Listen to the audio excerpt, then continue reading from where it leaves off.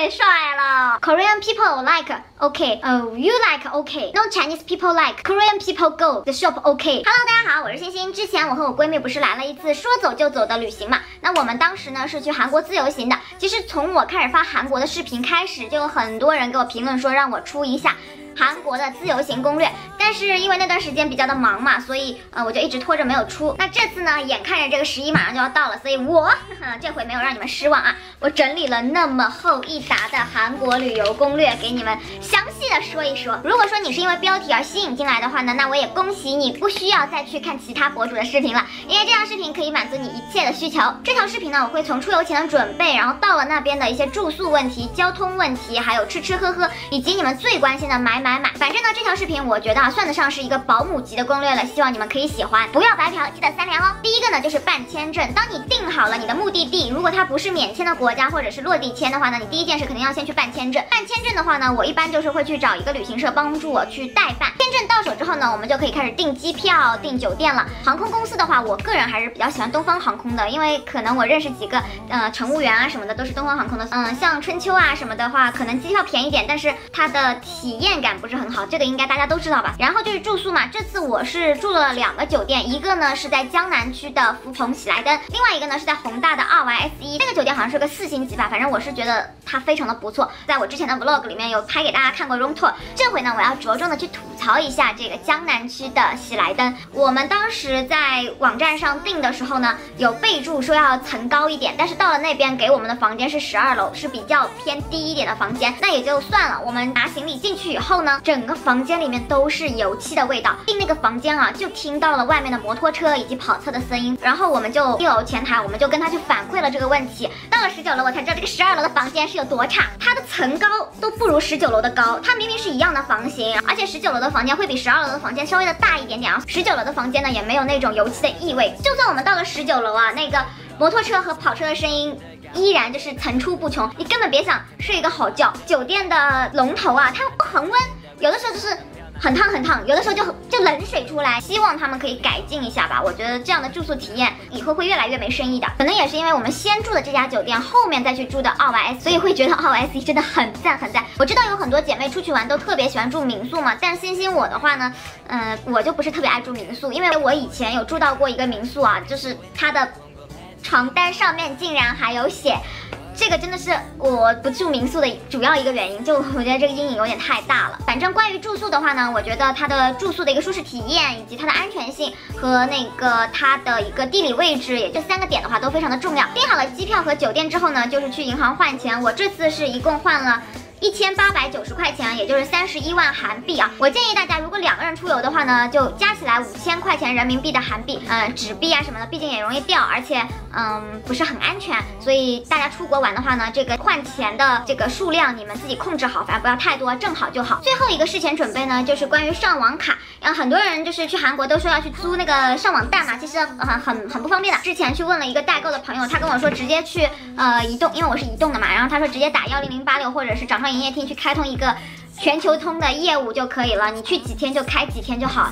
下一个点呢，就是关于你出国的时候你要带多少东西。因为我这次旅游就是美美富名曰的购物旅游嘛，所以我就没有带很多东西，像护肤品啊、化妆品呢，我也都是带了一些比较小的。但是出去玩，你这个转换头肯定是要自己备一个的。然后我还推荐大家再带一个插线板，因为现在充电的东西确实很多嘛，你光靠酒店那几个插头根本就不够。所以我每次出去呢，都会带一个插线板，可以充手机、充相机，然后电卷棒、充电宝，还有直发。因为我知道我会买很多东西嘛，所以我这次就带了两个箱子，一个超大的箱子，一个登机箱。然后去的时候呢，就可以把登机箱塞在那个大箱子里面，就变成一个箱子托运。这样你在韩国本地可以买一个双肩包，又或者你可以自己带一个双肩包。我就把超重的那一部分全部都塞到我的双肩包里面，然后人肉背回来了。这个也是我问了一些代购朋友，他们告诉我的。事前的准备呢，就是这些了。接下来就是开始在飞机上发生的一些事了。在去韩国的飞机上呢，会填两张单子，一张呢是入境登记卡，另另外。一张呢是大韩民国的海关申报表，反正你们就按照自己具体的情况去填就好了。但是注意啊，你那个地址千万不要写错，就是你住的酒店的地址千万不要写错，因为你写错的话。可能你就出不了关，还要你再单独重新去申报，会很麻烦的。嗯，关于交通方面，我呢因为比较图省事，所以我当时在韩国都是打的出租车。打车的话呢是要用现金支付的，出租车非常非常的多，而且也很方便。但就是出租车的司机年龄都非常的大，然后他们呢也听不懂英语。其次呢，那种软件上的地址啊，大部分是英文地址，他们也看不懂。所以最好的办法就是。呃，你找酒店前台的那些客服，然后让他帮你写一个问路卡，你要去哪里的韩文地址写在纸上。你们以为这样子就够了吗？No，原因呢不是他看不懂这个这个卡片啊，而是卡片上的字太小了，他们可能老花看不到。最好的解决方法呢，就是当前台写好了问路卡给你，你直接拍在手机上面，到了车上你。把那个照片拉大给他去看，这样子就 OK 了。黑色的出租车千万不要拦，千万不要拦，千万不要拦，它很贵很贵很贵很贵，是普通出租车的两倍吧价格。既然是自己出去玩嘛，那这个导航软件肯定还是要备几个的。如果要去韩国首尔玩的话，百度地图还是比较好的。它比较的准，呃，在青潭洞的店它都有地址，都会带我去正确的地方。我用高德，问绕了几圈我都没有到我要去的地方。那至于坐地铁和公交车呢？因为我自己没有去坐嘛，所以我不太知道应该要去怎么做。嗯，我在网上 follow 了几个这个公交车站的大巴站点啊，我到时候给你们贴在这边，如果有用的话可以去看一下。接下来呢，我就来跟大家讲一讲关于景点啊。其实我去了韩国之后，我真的觉得，韩国真的是一个购物城市，它基本没有什么景点。我去的景点也就只有景福宫一个，它门口啊有很多租韩服的地方，穿了韩服，景福宫就不需要买门票了，你就可以直接进去拍拍照啊什么。第二个景点呢就是首尔塔，虽然我没有去啊，但是这算是我的一个遗憾吧。我其实是有计划去的，但后来时间的问题就没来得及去。其他的话，我真的没有觉得有什么景点可去的。下一个呢就是你们最关心的买买买。其实去韩国嘛。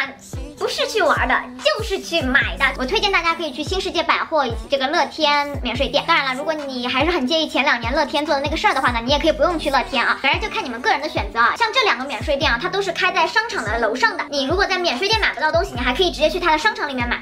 格的话呢，其实差不多。关于这个交流的问题，你完全不用担心，因为在免税店里面呢，很多很多都是我们东北的姐妹们。可是这个百货商店就不一样了啊。不过以我的经验，他们的理解能力还是蛮不错的，因为像我这样的英语水平，他们都能听得懂，所以你们。应该很妥，我的英语真的很差的。逛免税店的第一件事就是去客服服务中心先去办一个返点卡、金卡、银卡这种东西，你买东西的时候就可以直接给你打个八五折。你一定要先搞清楚是支付宝付款比较划算，还是银联支付比较划算，因为它时不时的会有活动。除了免免税店买化妆品、买包包、买奢侈品以外呢，如果你要买饰品啊、呃服装的话呢，我真心推荐大家可以去呃林荫道那一块儿去转一转。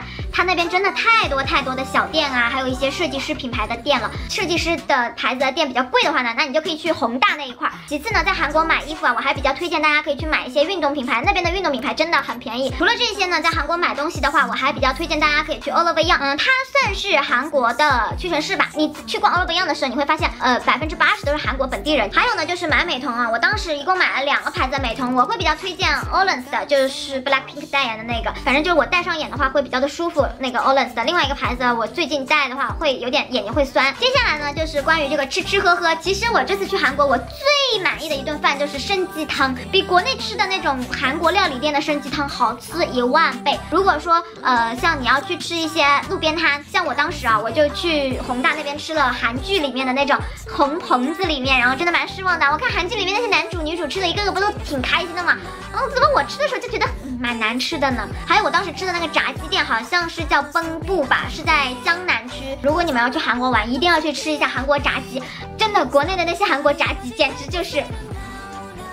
另外呢，我还要推荐一家在宏大商业区的一个猪肘店，排队，它好像开了三十多年了吧，好像每天都要排队。对，但是我很推荐它里面的饭团，超好。吃，我到现在有的时候晚上啊饿的时候，我还会想到那个饭团的味道。这里呢，我还要再给你们唠一个小嗑啊，就是关于这个问路。嗯，星星我啊，我刚刚说了我英语真的特别的差，地图呢软件呢其实它也没有那么的准。那我是怎么去找到一些比较好吃的店？就是去搭讪，知道吧？搭讪。你们既然去买东西对吧？你去这些店里面买东西，你都买了那么多东西了，你问个店怎么了，对不对？我打个比方啊，呃，Hello，I we want to eat something. Do you know where? Can we go？可能有语病的英语啊，因为韩国人的英语也不好嘛，就这么跟他们说，他们就能懂的啦。他就会问我你想吃什么啊之类的，然后哦，然后我就不会说烤肉嘛，然后我就会说就 Korean people like OK，哦 you like OK，嗯 no no Chinese no Chinese people like。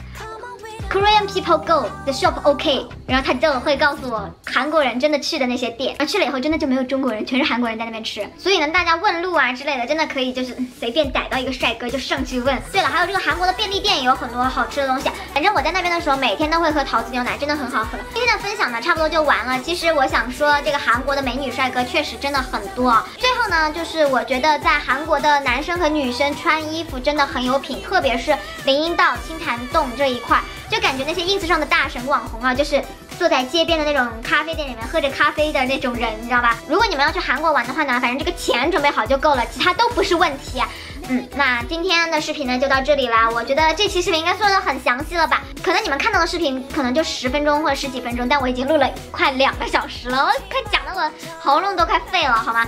好了，那今天的视频就到这里，我们下次再见啦！祝你们十一玩的愉快，我们拜呀！算是一个小小的邂逅，就是关于问路。我当时跟我闺蜜就是想要找那个炸鸡店，你知道吧？然后没有找到，然后就路看到远方来了一个西瓜头戴着耳机的少年，刚抬头跟他说 hello 的时候，跟他对视了嘛，我就看到他的那个双眼睛，简直就是从电视剧里面走出来的男人。我整个脸啪爆红，红到我耳朵，然后我就很假装淡定说，拿图片给他看，Do you know this？然后他就笑了一笑，跟我说，no no no。然后我说，哦，thank you thank you thank you。然后他戴上耳机就走了。